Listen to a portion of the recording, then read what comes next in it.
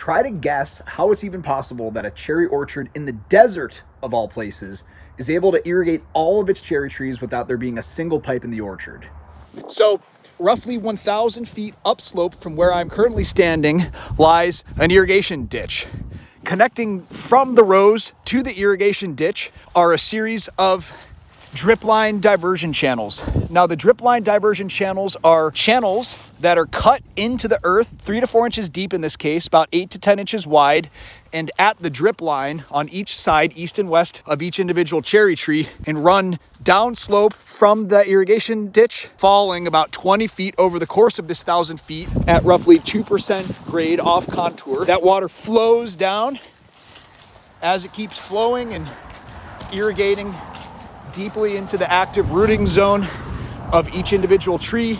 Any overflow enters then into this exit channel, which then flows into this drive through that was constructed to allow vehicles to still drive through on the road without obstructing the flow of this water and vice versa, before finally entering into this irrigation canal.